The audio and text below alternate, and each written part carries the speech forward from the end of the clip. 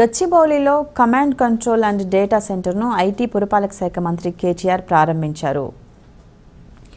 Safe and smart city ప్రాజెక్టులో భాగంగా ఈ డేటా సెంటర్ను ప్రభుత్వం ప్రతిష్టాత్మకంగా నిర్మించింది. డేటా సెంటర్ ప్రారంభోత్సవ కార్యక్రమంలో మంత్రులు Mahmood Ali Sabitha Indra Reddy mayor Bonthu Rammohan DGP Mahender Reddy Hyderabad Cyberabad Rachakonda police కమిషనర్లతో పాటు పలువురు ప్రముఖులు పాల్గొన్నారు.